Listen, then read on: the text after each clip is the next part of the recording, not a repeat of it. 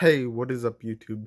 And today we have a review on just this one and only Ruthless Aggression Series 1 Shawn Michaels.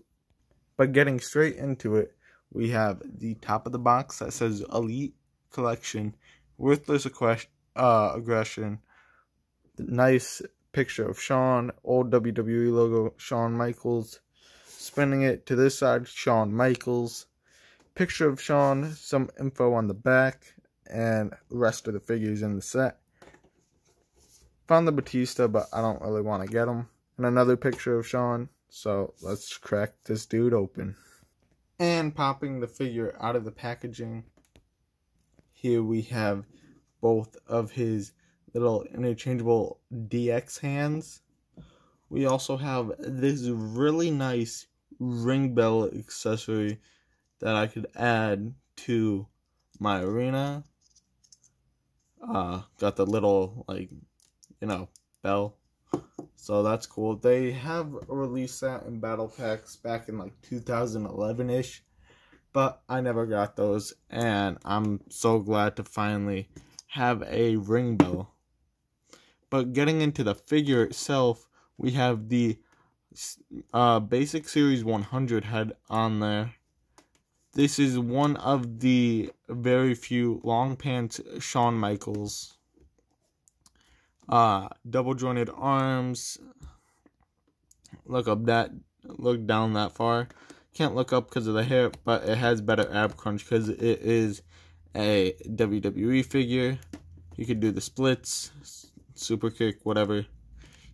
Front, can't go back because of the butt cheek flap and double jointed knees. No lower um shin rotation, which is kind of weird. And then you also got a little ankle uh rocker right there. But I love this Shawn Michaels because it first of all, I finally get the series 100 head.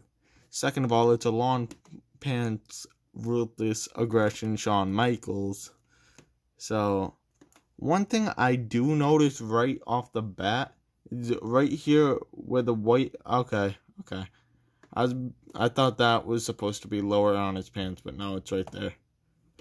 Um but yeah Shawn feels good in the hand. He i believe he is on ball joints. No he is on ratchet joints. They have white pegs in there which i don't know why. These are plain white uh pants. I believe that, well, actually, I don't know, because, like, this part seems to be molded in red. Like, as you can see, if we just cut the knee there, then that would have been white if it was molded in white, but looks like it's molded in red. Parts of it molded in red, parts of it molded in white. Plain white wrist tape, and we also have the patterns going down the side the little heart right there and same on the other side but yeah this is quick and easy review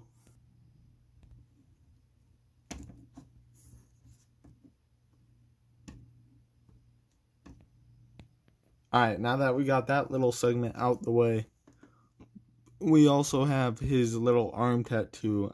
I forgot to mention that. This is the best Shawn Michaels head scan, in my opinion. And I'm about to show you the second best, which is on my other two figures. And these are my other two Shawn Michael Elite figures. Now, the DX is here because that is the only one I have in the long pants, just like this one.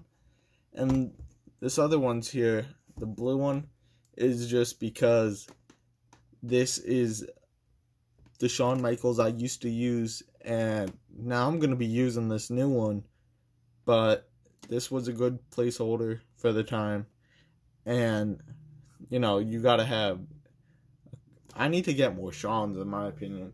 But, out of that all, I hope you guys did enjoy this review. This one review on this one figure. And I will see you guys in the next video tomorrow.